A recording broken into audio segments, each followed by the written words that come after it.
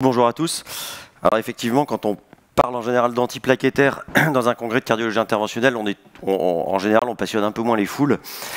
Mais euh, l'idée, c'est un petit peu comme Thierry, je pensais avoir une demi-heure et en fait j'ai 10 minutes pour les stratégies antiplaquettaires. Donc on va volontairement pas parler de guidelines et pas parler d'études, on va parler de patients pour que ce soit très pratique. Donc en pratique, on sait que nos patients, ils arrivent pour deux types de présentations, hein. le syndrome coronarien chronique ou aigu. Et très clairement, les stratégies antiplaquettaires sont différentes. Parce que quand on traite des lésions stables, on va dire nos choix d'antiplaquettaires vont être basés beaucoup plus sur ce qu'on fait, c'est-à-dire sur l'angioplastie. Alors que dans le syndrome coronarien aigu, ça va être basé beaucoup plus sur l'accident clinique du patient. Donc, volontairement, je vais aborder les deux situations cliniques de façon, de façon distincte. Donc, on va commencer sur les stratégies antiplaquettaires post-angioplastie dans le syndrome coronaire chronique. Donc on prend un patient très simple, 52 ans, angioplastie programmée de l'IVA moyenne, ici avec, vous le voyez, un résultat satisfaisant. Et on est tous d'accord, c'est un patient qui a bas risque hémorragique, a bas risque ischémique, et donc on va partir sur une stratégie antiplaquettaire standard, hein, aspirine, clopidogrel, 6 mois. Donc ça c'est un peu notre base, c'est un peu la règle. Et vous allez voir que c'est un peu l'idée du topo, c'est de voir les règles et les exceptions. Parce que si on prend cette fois un patient stable, mais 71 ans, tronc distal, deux stents pour la bifurcation, je suis désolé Thierry, avec du rotablator chez un patient qui a déjà fait un syndrome coronarien aigu, qui a une CTO de la droite. Là, évidemment, l'ambiance est complètement différente. On a un patient à beaucoup plus haut risque hémorragique, euh, ischémique, pardon, chez qui on va avoir envie de faire plus fort. Comment on peut faire plus fort? On peut faire des traitements plus forts. On fera peut-être le prasugrel au départ. Et on peut faire plus long. Donc, chez ces patients vraiment dans un contexte de haut risque ischémique, c'est les fois où on va faire plus que la règle. On va faire plus avec des médicaments plus puissants, prasugrel ou ticagrelor, et on va faire plus en faisant plus longtemps. A l'inverse, quasiment la même lésion, hein, tronc distal, plutôt, mais un patient qui a saigné, qui a une cirrhose, qui a une thrombopénie, une anémie, donc on est vraiment dans une ambiance de très haut risque hémorragique. Évidemment, chez ce patient, il reste à haut risque ischémique, hein, il n'y a aucun doute, c'est une lésion complexe, mais il est à très haut risque hémorragique. Donc là, à l'inverse, on a envie de faire un peu moins que la règle. Et comment on peut faire un peu moins que la règle? Bah, On ne peut pas faire moins que le clopidogrel, alors on va faire moins long. On ne va pas faire six mois, on va faire trois, voire sans doute un mois chez ce patient. Donc ça, c'est la caractéristique de patients qu'on va dilater dans un contexte clinique stable, chez qui on va faire moins. Et moins, ça veut dire faire plus court. Faire trois mois, voire faire un mois.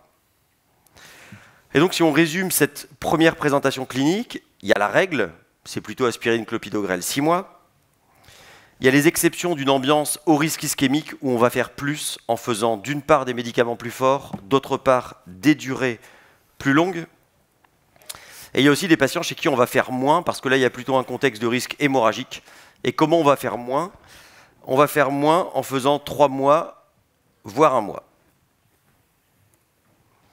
Alors j'ai regardé un petit peu dans ma pratique, c'est évidemment très subjectif et ça peut se discuter, mais je suis grosso modo à 50% de règles, ce qui veut dire que dans la moitié des cas, je ne respecte pas les règles, c'est à peu près ce que je fais dans la vie en général.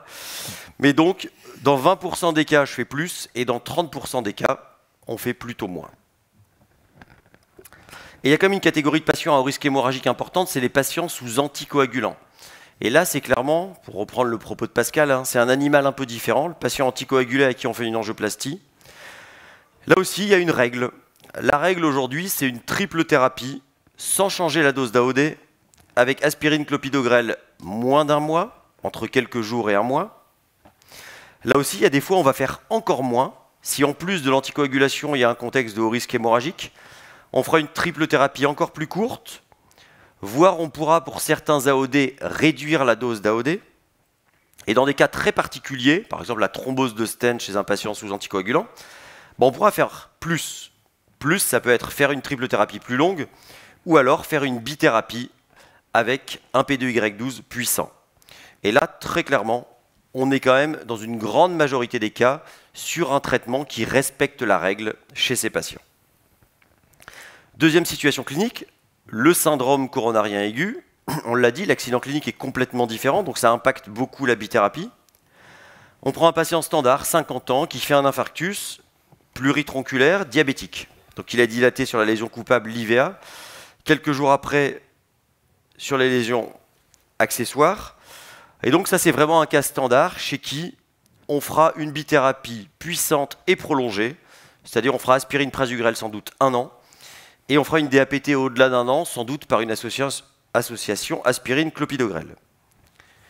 Ça, une fois de plus, c'est sans doute la règle. Aujourd'hui, en post-syndrome coronarien aigu, c'est des P2Y12 puissants pendant 12 mois et sans doute une bithérapie un peu allégée au-delà de 12 mois.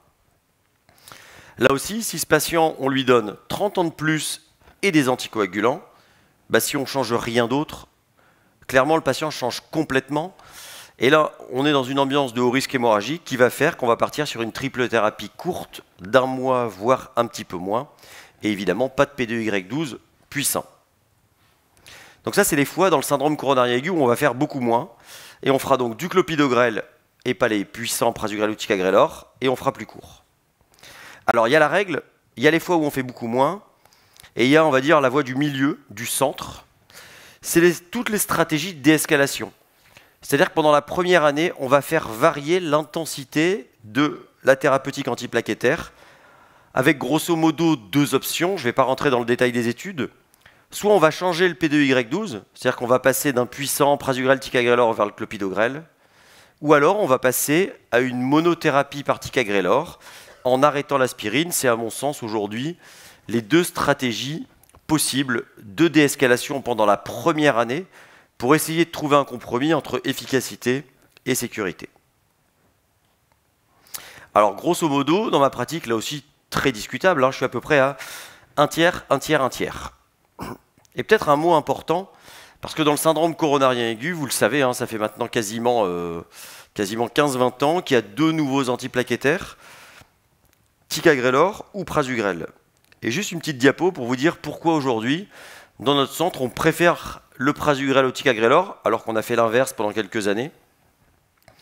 La première raison, c'est que c'est un comprimé par jour versus deux, et on sait qu'un comprimé, c'est plus facile, et on a une meilleure adhérence de nos patients. Ensuite, il n'y a pas d'effet indésirable, on va dire au-delà de l'effet hémorragique, mais qui est un peu inhérent, euh, on va dire, au principe du médicament. Il n'y a pas d'effet indésirable exotique, hein, comme la dyspnée par exemple sous ticagrelor. On a dit que de plus en plus, on pouvait switcher en fait entre les P2Y12, prasugrel vers le clopidogrel. Et on sait que quand on fait prasugrel vers clopidogrel, il n'y a pas d'interaction médicamenteuse, il n'y a pas besoin de recharger les patients, donc c'est beaucoup plus simple. Un peu de science, c'est que ça a été comparé dans une belle étude qui a été évidemment critiquée. C'est quand même publié dans le New England. C'est l'étude ISAREAC 5 qui a comparé prasugrel et ticagrelor dans le syndrome coronarien aigu. L'étude a été faite pour montrer la supériorité du ticagrelor. Elle a montré la supériorité du prasugrel. Ensuite, je pense que c'est quand même important, c'est moins cher parce que le prasugrel est génériqué. Et enfin, je vous avais dit que je ne parlerai pas de guidelines, ce sera la seule fois, je vous promets. C'est marqué dans les recommandations du non-STEMI 2020 qu'il faut préférer le prasugrel versus le ticagrelor. Donc pour ces raisons-là, on utilise plutôt le prasugrel. Alors pour résumer en une diapositive les stratégies antiplaquettaires en 2022 en post-angioplastie, chez le malade stable, la règle, c'est aspirine clopidogrel 6 mois. Dans un contexte de haut risque ischémique, CTO, bifurcation, lésions pluritronculaires, lésions calcifiées très complexes. On fera plus avec des médicaments plus puissants et des durées plus longues. A l'inverse, chez un patient dans un contexte de haut risque hémorragique, on fera moins. On fera pas moins que le clopidogrel, mais on fera moins en durée. On fera trois mois, voire un mois, avec évidemment la difficulté des patients qui sont à la fois à très haut risque ischémique et à très haut risque hémorragique, ce qui est souvent le cas. Et dans le syndrome coronarien aigu, la règle, ce sera aspirine et donc vous l'avez compris, plutôt prasugrel pendant un an, suivi d'aspirine clopidogrel, c'est une proportion significative de patients. Chez certains patients identifiés à haut risque hémorragique, on fera moins, donc moins ça veut dire un P2Y12 plus light, le clopidogrel, et des durées plus courtes, 6, 3, voire 1 mois. Et il y a une espèce de compromis de voie du milieu que sont toutes les stratégies de déescalation qui finalement s'inscrivent entre une bithérapie forte et prolongée ou une bithérapie arrêtée très tôt. Et c'est donc soit de changer le P2Y12, soit d'arrêter l'aspirine pour passer à une monothérapie par Tika Voilà, merci beaucoup.